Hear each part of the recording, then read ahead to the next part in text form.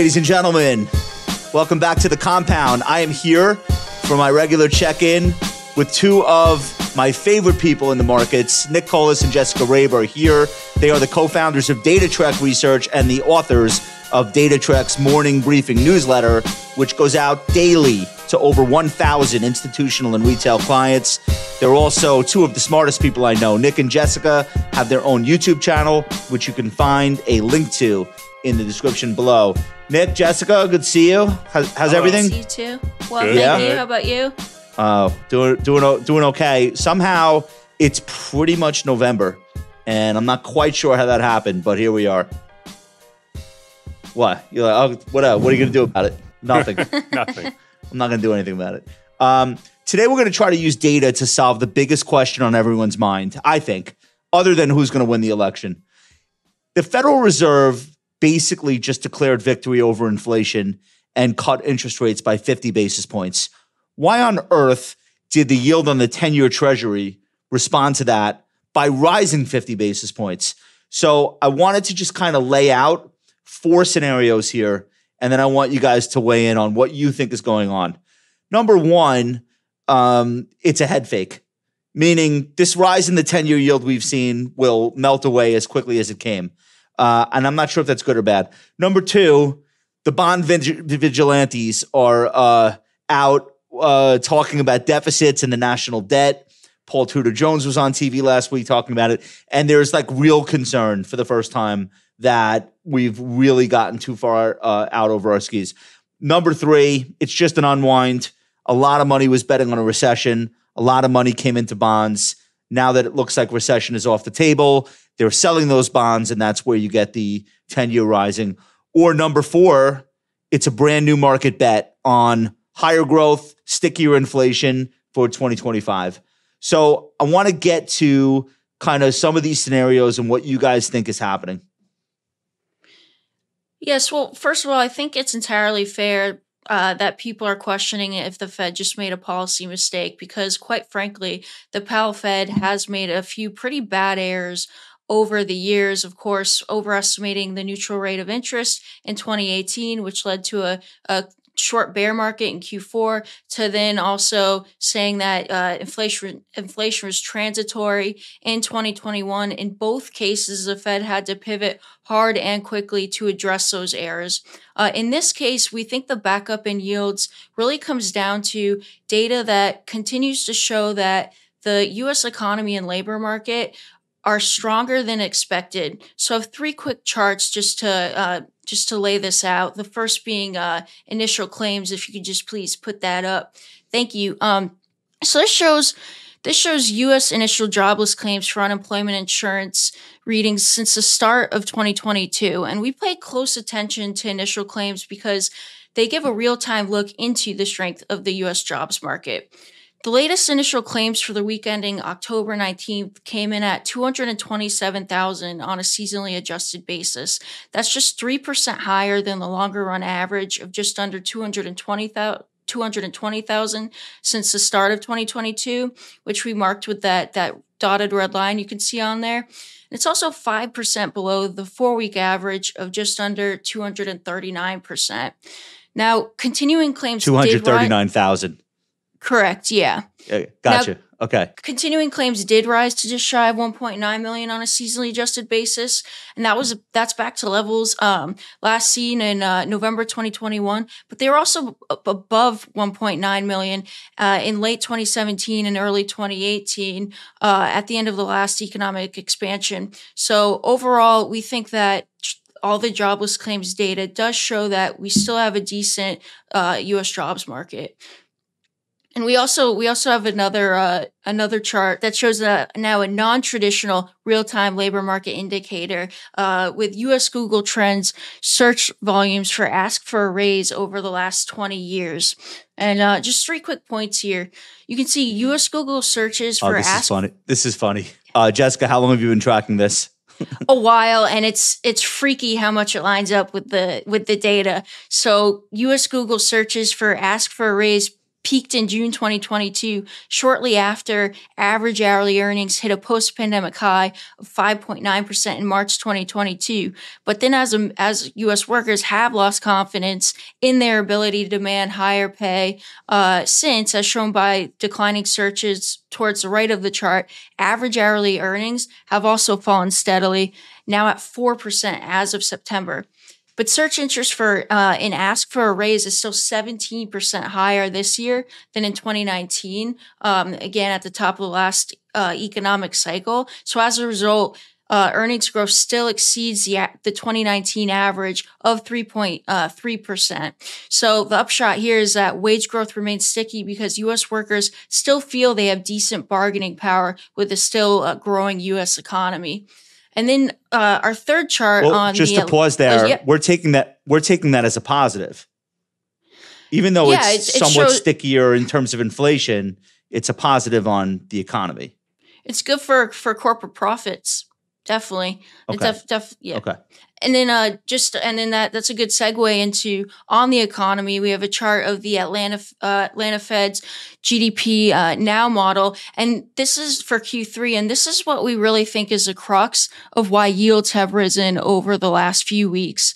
The model was forecasting 2.8 to 2.9% growth for Q3 in mid September when the FOMC cut rates by 50 bips, but its prediction has trended higher since as the models incorporated new data in real time. So this past Friday, it forecasted 3.3% growth, which was the last revision before the release of the uh, advanced Q3 GDP report tomorrow. And if that number comes true, it would be the highest reading this year after growth of 1.6% in Q1 and 3.3% in Q2, and it would even be higher than Q4 2023's 3.2%. So our bottom line here is that the U.S. economy seems to have had a decent Q3 and solid momentum uh, heading into Q4 and uh, 2025. So we think it's the the strong economy that's pushing yields higher. Yeah. So Jessica, it sounds like you're in the C and or D camp. It's an unwind of recession bets combined with maybe a new market bet on even higher growth, even though that higher growth will come along with higher prices. And I suppose that's the optimistic case. Uh, even if you hate inflation, you probably hate uh, a national debt crisis a little bit more.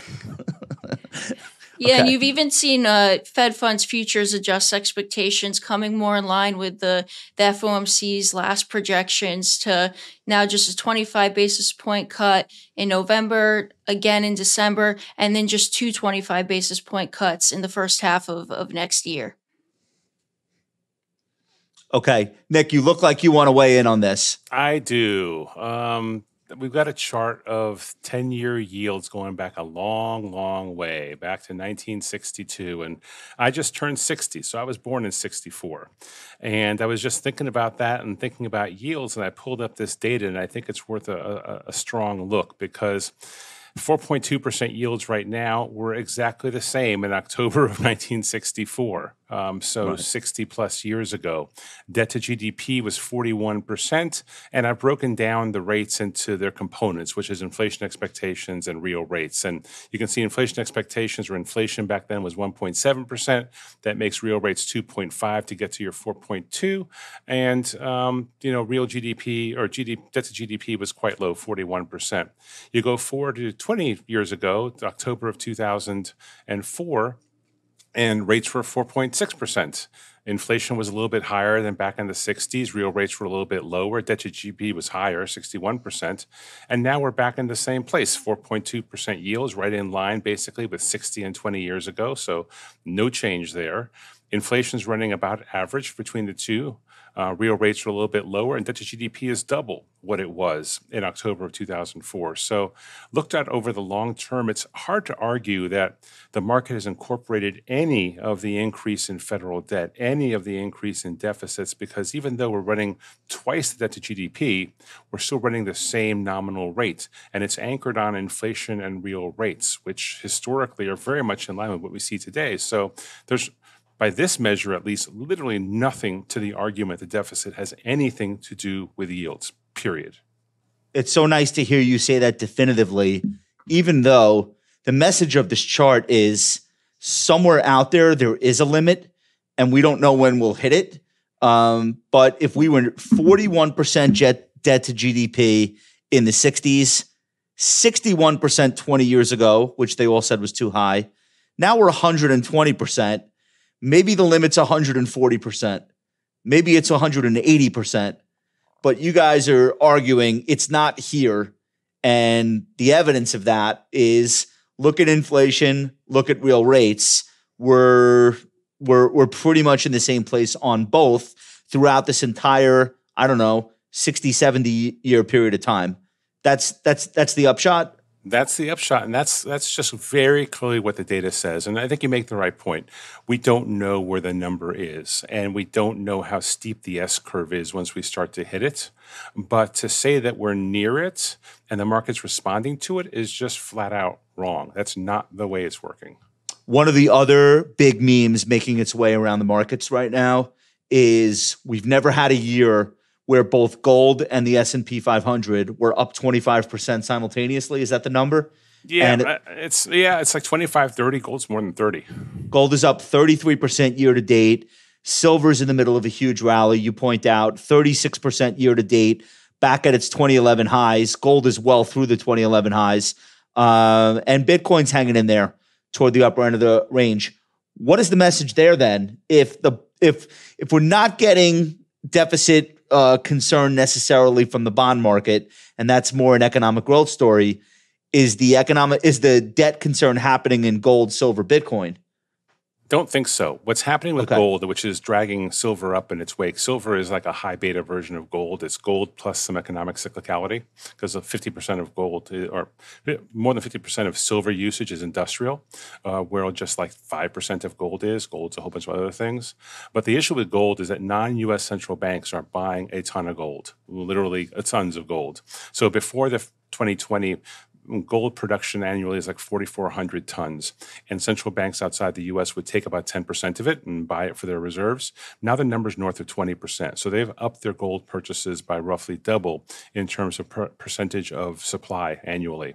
And the reason they're doing that is gold is a better reserve asset in some ways than treasuries, which is the more common reserve asset for non U.S. central banks. Because unlike treasuries, once gold is inside a country's vaults, they can't, it can't be confiscated, it can't be sanctioned. And and after what happened with Russia and the US dollar, I think a lot of central banks are saying we need to diversify our holdings of reserves. And one of those diversification tools is gold. So they're buying a lot more gold than they used to, and you're seeing it in the price. So I don't see it as a sign of deficit worries per se. I see it as a sign of the dollar being not quite as much of a safe haven uh, in a dicey geopolitical world. Sure. If the if the EU and the United States decide that an action taken by a sovereign country flies in the face of international law and they want to make them pay and they want to do sanctions or they want to freeze numbers on a screen, fine. Can't do that with gold bullion. Nope, nope. It's it's not a you know, not a CUSIP based asset. It is a physical right. asset, and once it's there, you got it, and it's yours. And there's real value to that.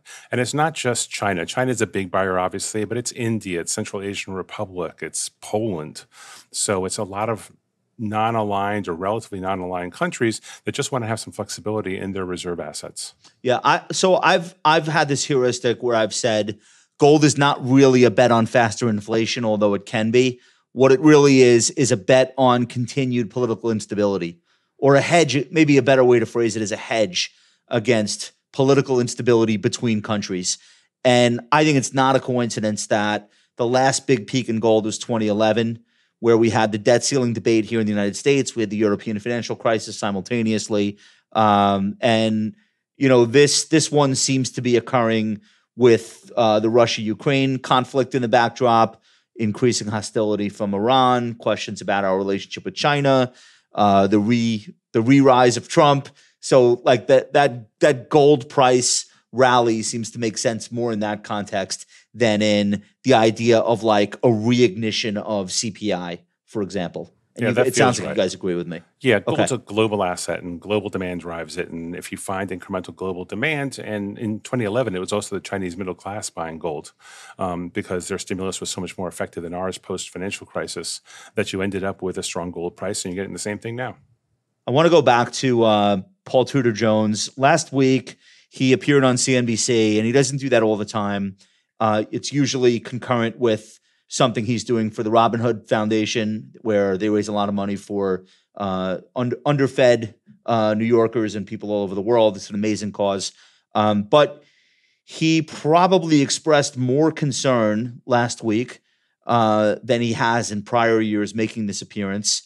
And his message was we're finally at this moment where the federal debt matters. And the fact that those comments occurred while we could all look at our screen and see that 10 year yield rising, I think really scared a lot of people. It seems to have somewhat subsided in the last couple of days, but I've been waiting all week to get your your your take on um, PTJ's comments and whether or not they exacerbated the rally in bond yields. Yes, I mean they certainly did. People listened to him, and rightly so. He's brilliant, um, and obviously it made us think about this issue, talk about this issue a lot, and kind of this is where this 60 year chart data, you know, the genesis of that came from thinking about this over the long term. I guess what's missing for me from his argument, which I get at a numerical level, is what's the catalyst? Every trade needs a catalyst. So, what exactly is going to happen? Is it a failed auction? And more from a big picture standpoint, if the money is not going to go to the US, if it's not going to go to treasuries, where does it go? Do you really want to invest in euro based bonds? Not really. I mean, the euro is not as solid as the U.S. as far as an economic entity. You're going to Chinese bonds? No. Uh, Japan? No. That's a U.S. What's, bet. Uh, what's Japan. the what's what's the alternative? So right. I was really hoping he'd like list out the catalyst, but it seems more like he's looking for some invisible hand of the market to push us up the S curve on this crisis. And okay, I just I just didn't hear the answer as to what's the catalyst. Uh, what if what if we can't think of what the catalyst is? But we've basically piled up all this kindling, and when it arrives, it almost won't matter. Uh, or is or is that too too abstract to worry about right now? No, it's the right mental framework, right? It's the same sort of concept as the S curve. I mean, I think what he's trying to say is that the relationship between crisis and debt level is not linear. You're not going to slowly work your way into it. It's going to hit a point where you go up the S curve really fast on crisis while the incremental debt is not very large. And the point of that 60 plus year chart was to say, we've been doing this for a long, long time, and there's nothing to say that rates at this point have any relationship to the deficit. So I guess the question becomes why now? Guys, I want to do the betting odds on uh, the 2024 presidential election. So uh, people are going to hear this Monday and Tuesday on video and audio. We're still a few days out from the election. Normally, the S&P 500 would right now be as volatile as it gets. If you look at a composite of the election run up, uh, we really just didn't have that pre-election volatility. Uh, I think the big question on a lot of people's mind is, oh, are we going to have that after the election this time, or maybe we had it in August and you know we we kind of got through it, and I guess we'll we'll all find out the answer together. But uh, what what are, what are we saying here with uh, with the data that you guys have? I think we got a table of the betting odds. This is from a couple of days ago, and all this is is a summary of all the different offshore betting uh, markets for this event. And you can basically bet on this. You know, it's a little bit harder to bet on an election in the U.S., but outside the U.S., it's very easy. And the bottom line is that the odds shades towards shade towards Trump by you know call it sixty to to whatever it is, low thirties, high high 30s, low 40s. So it shades in his favor. Um, but you don't really get definitive numbers from a betting market until you get to 70%. So in practical terms, this is still very close to a toss up. I wanted to ask you if you think, well, first, this is the first election where I think as many people are part of these uh, bets on whether or not you know who's going to win. Uh, I think like for the first time, Robinhood just announced a product that's going to go live in the next couple of days, where they're going to allow their users to buy a contract on either Trump or uh, or Harris. So this is now a much bigger phenomenon than it had been in prior years among Americans. Yeah. Uh, would you agree with that? It is, and and one thing that I've not really seen discussed, but I wanted to bring up, you know, here is there have been big bets on Polymarket, which is one of the more liquid, like two Oh, it's a lot of money. It's like two billion dollars plus, you know, in trading volume on these contracts. And there's a big whale in France who has put thirty to forty million dollars to work betting on Trump. And I can tell you from having worked for Steve Cohen, traders don't just guess on stuff. They don't just throw stuff to the wind. There's a point to the trade. And I can't help but wonder if jacking up Trump's odds was in a way to manipulate or influence other markets, like the peso, for example, which is very dependent on a Trump versus Harris victory. And I'm just wondering if this is all part of a larger trade where you push up the odds for one candidate that has a clear impact on capital markets and then trade those other markets to make your money and you don't much care if you can't unwind the whole Trump trade before the election, or maybe you don't, you, you just let it ride, but you're making a lot of money in the assets that are affected by this new market for predictions in US elections. Well, this is binary though. So if, if, if you have this trade on, and I don't know what the trigger is to declare this definitive, uh, is it uh, is it uh, a certain amount of states uh, have to have their ballots in, or like how do we even know who wins this? Oh, there's rules behind every contract, and they vary a little Yeah. bit. But you know, it might actually just go to the certification in January. Uh, but the Okay. point of of the fact that this is new, as you said, this is a new concept. This is a new way of thinking about who's going to win the election. We used to just use polls, and polls kind of didn't work all that well in the last ten years, and so the betting markets have become part of this conversation. But the issue is that the betting markets now have influence on capital markets, and so to some degree, if you push around the odds in an illiquid market and create a better situation for another trade in another market, that is a way to make money. Jessica, if you had to guess, would you say that the betting markets will become more accurate than the surveys and the polls? Um, maybe not in this cycle, but ultimately, as this becomes just a more common thing for people to do. I think so because people are putting their actual money on the line. Right. As, as opposed to their opinion, which might even not Yeah. might not even be their real opinion, depending on who's asking the question. Mhm. Okay. Unless, to Nick's point, people are not actually expressing a view on the outcome, but hedging against the possibility. And they have some other bet that they care more about placed somewhere else. And, I mean, and I guess we'll never know. Yeah, ultimately, the number we're looking for in the last election, uh, the prediction markets had 63% uh, in favor of Biden. So that's the sort of number that uh, we can look for to see who will win. Trump is very close to that. Okay. Uh, I want to move on, and you guys have so much great stuff. So I want to ask you guys about um, three-year S and P and Nasdaq rolling returns. Jessica, I know you've been doing some Mhm. work on this during the course of the week. Yeah, so we're hearing a lot of concerns that US equities are overextended here now that this will have been the second straight year that both the Nasdaq and the S&P will have rallied. Uh, so to see if that's true or if uh, both indices can continue to rally for a third straight year in 2025, we looked at the three-year rolling price returns uh, for both indices over the last 50 years. So I thought we'd just first start with the S&P 500. Uh, so this shows uh, the three-year rolling price returns for the S&P over the last five decades, and just three three points here. The first is that the S&P usually generates good returns over three-year periods and rarely goes negative. So the average 36 months month price return from 1974 to now is 29%. You can see that highlighted by the the solid green line in the chart, and that's a, an Right. 8.9% annual compounded return. And uh, even more impressively, the S&P's three-year win rate, or the percent of days with gains over th- this period, is 82%. And Wow. uh, yeah, it's it's a huge win rate.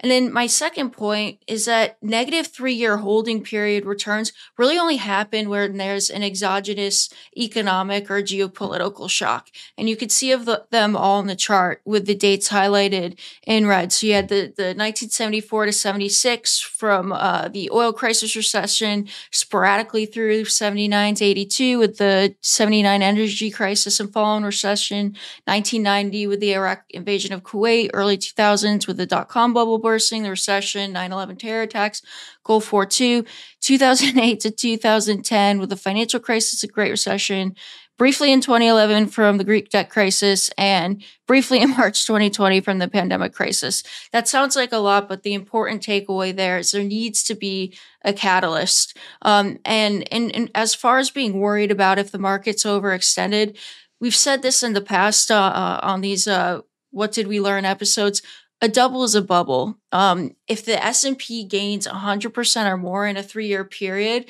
uh, which in that chart is marked by the the dotted green line, history says investors should be extremely cautious. This has happened four times since 74, uh, which we highlighted it. They're, they're highlighted in the green date, the green dates in the chart. Um, We're nowhere near it. Yeah, we're nowhere near it. And those were followed by major contractions. And the only time the market was able to keep rallying after doubling in three years was in the 2010s because it had started from such a low level after the 2008 financial crisis. And I think that's kind of what's missing from the current market narrative is that uh, we're we were 2022 was a, a very bad year that we're still crawling out of. Um, so I just have one more uh, point on this chart. Uh, the last one is that through flat Friday's close, the S&P is up 28% over the last three years. That's super close to the long run average of 29%. So if all you knew about the index was its three year was its three year return as of today, you would probably assume that the last 36 months have been pretty routine. They've of course not been, Anything but it looks but. it looks normal. Yeah, anything Yeah. but but like overall the the upshot here is nothing in this analysis like you you said earlier shows that we're close to a bubble in US large caps. If anything, uh it all looks pretty normal actually. This is such an important uh, topic and such a great way to explain it to people because I think there's this assumption that black has to follow red, down has to follow up. And a lot of times when bulls and bears are arguing, it, if you just lengthen the time horizon, so people are looking at two years, and last last week I think or the week before was the two year anniversary of the bottom of the market, and so it's like, well, you're not going to have another two years like you just had, as though they were completely extraordinary. Your point is, well, think about it in three year terms. We've just seen an average three year return, nothing more, nothing less. And by the way, it took a lot of volatility to get here. And I think that's a really important message for people who are trying to wrap their head around staying long, maybe putting more money into the market at these levels. We did not just come off this incredible three year period. 28%. The average is 29. No big deal. it, it's even more stark if you look at the Nasdaq. If you want to just throw up that real quick, um, just two quick points here. The first is that the Nasdaq's rallied by an average of forty one percent uh, over any three year period on a price basis over the last five decades. Uh, you can see that with the the solid green line in the chart. That's a twelve point one annual compounded uh, return. And Yeah. just like the S&P, the Nasdaq is rarely down over 3-year periods. Its rate win rate's even higher than the S&P. It's 84% over the last uh, 50 years. Um, and the, my second point here is just that the Nasdaq's up 23% over the last 3 years. That's well below the long run average of 41%. And that's because large cap tech was particularly hurt by 2022's rate shock. Um, so the Nasdaq's actually been playing some catch up, having been underperforming its long run average return over the last three years. So the two key points I, I want people to take away from these two charts is that the S&P and Nasdaq do tend to generate positive double digit returns over three year periods as long as we don't get a geopolitical or economic shock and uh, the S&P and Nasdaq's 3-year rolling returns have plenty of room to run before looking overextended as long as the economy and corporate profits keep growing. Nick, I bet if you asked even your clients, institutional clients, uh, if they think the last three years was a below average NASDAQ return, none of them would say yes. That's most, true. most would assume, myself included, that we've just been through an above average three year period. yeah, recency bias on parade. 100%. Okay. That's Guys, why- I want to ask why- you about, uh, oh, please. Oh no, I was just going to say that's why we love 3-year returns cuz it smooths out seasonality and volatility. Yes. Uh, I want to ask you about short, medium, and long term issues. Uh, it looks like we have a VIX chart in here. What do you want to tell us here? Yes, let's throw that up. I'll throw up that VIX chart. This is what we showed clients last week in terms of thinking about potential volatility from the election. Because Okay. as much as we feel things are pretty well baked in and we're not going to see a lot of volatility, could be wrong. And so, what's the playbook? And the playbook's pretty straightforward. The long run average on the VIX is uh, is 20, 19.5. We call it 20. One and two standard deviations is 27 and 35. This is a chart of the VIX uh, back to October 2020. And if you go back and look at it, if you buy the S&P when the VIX gets to 35, that second line, the two standard deviation, you're up 6.5% on average over the next month with a 100% win rate. So if you're looking for a volatility level where you can definitely step in and buy the market, 35 is the one to look at. 27 has been useful as well because we don't always get to those very elevated levels of volatility. But those are the two levels where if over the next couple of weeks something really untoward happens, market gets volatile, the VIX spikes, 27 and 35 are the levels to look at. And it's just a simple rule book. We've used variations of this rule book since the pandemic crisis. They work great. The VIX is an awesome signal of near term market fear. That's, I think that's a really helpful uh, way to think about it. My guess, I don't know that we'll see another VIX spike akin to what we saw in August, September of this year, uh, related to the Japanese carry trade unwind thing. Um, but like, would I be shocked to see a VIX at 30? No um, because I understand how how much technology is involved in market trading and yeah. how quickly every algorithm could move to the same side of the boat, especially if they're in risk preservation mode, uh, capital preservation mode. So um, I really appreciate that, guys. I want to tell people where they can watch the Nick and Jessica show on YouTube. You guys are youtube.com slash at Nick Colas and Jessica Rabe. And that is the DataTrek channel. How how are things going on the DataTrek channel these days? It's awesome. We love it. You having do fun? Another, do, do another do another video this week about the single most important lesson I learned in business school. Oh, okay. I'm all in for that for sure. And for those of you who are interested in learning more about how you can subscribe, go to datatrekresearch.com for all things Nick and Jessica. Guys, thank you so much for joining us once again. We love to have you. And for everyone listening and watching, we appreciate you. Smash that like button. We'll see you soon.